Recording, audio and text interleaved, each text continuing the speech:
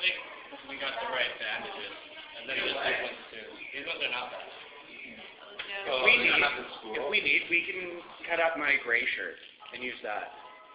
Yeah. Three six mafia. Uh,